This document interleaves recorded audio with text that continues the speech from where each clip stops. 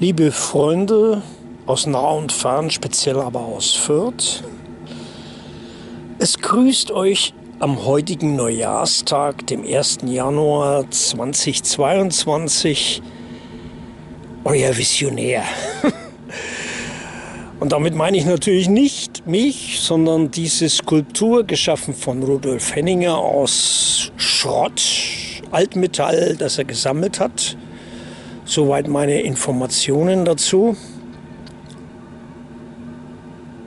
Meine Visionen eher bescheiden, aber ich bemühe mich und hier ist immer der Ort,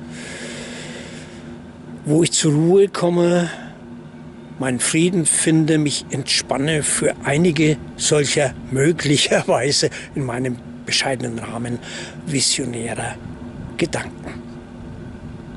Nicht weit weg von meiner Wohnung in der Kaiserstraße, nicht weit weg von der geliebten Steinplatte im Südstadtpark, mir zur zweiten Heimat geworden, nach meiner Emigration aus meiner Lieblingsstadt Erlangen 1982 nach Fürth. Die Stadt habe ich sehr lieb geworden. Sie ist im Laufe der Jahre und Jahrzehnte immer sympathischer geworden.